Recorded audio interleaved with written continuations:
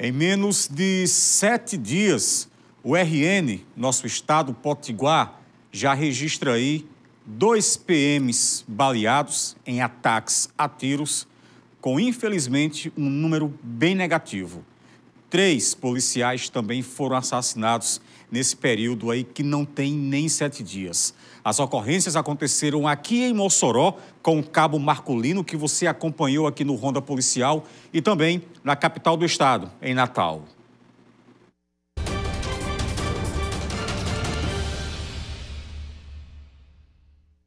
Nos últimos dias, o Rio Grande do Norte registrou ataques e violência contra agentes de segurança pública. De quinta-feira, dia 8, até esta terça-feira, dia 13, cinco policiais foram alvos de ataques. A primeira dessas ocorrências aconteceu em Mossoró no dia 8. O cabo da PM, Marcolino, foi vítima de uma tentativa de assalto. Ele foi baleado na cabeça, chegou a ser socorrido e internado no Hospital Regional Tarcísio Maia, mas não resistiu e faleceu na unidade hospitalar. O sepultamento aconteceu sob forte comoção e honras militares. Na sexta-feira, dia 9, um sargento da PM foi baleado em Natal também durante um assalto. Um tiro atingiu o peito do sargento. Ele foi socorrido e não corre risco de morte. No último sábado, dia 10, um policial civil da Paraíba foi morto a tiros, em frente à mulher e os filhos do bairro Pintibu, em Natal. Ele morava no RN e estava saindo da casa do sogro quando foi abordado.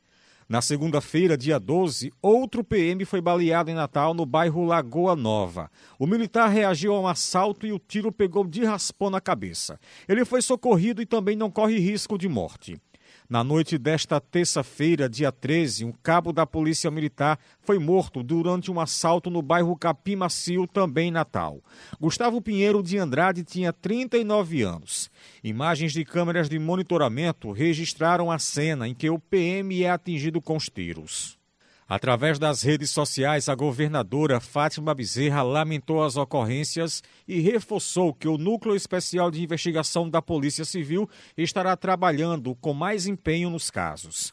O Sindicato dos Policiais Penais do Rio Grande do Norte, através de sua presidente, emitiu nota de pesar pelos policiais mortos nos últimos dias.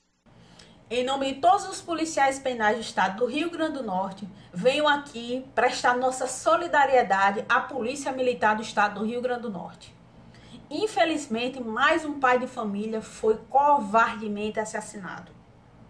Não foi só um policial militar que foi abatido. Foi uma corporação. Foi toda a força de segurança. Foi o Estado. Porque isso é uma afronta ao poder público. Nós estamos aqui indignados com essa falta de valorização, de respeito com a vida, principalmente daqueles que estão saem todos os dias para trabalhar, para proteger a vida de várias outras pessoas que sequer conhecem.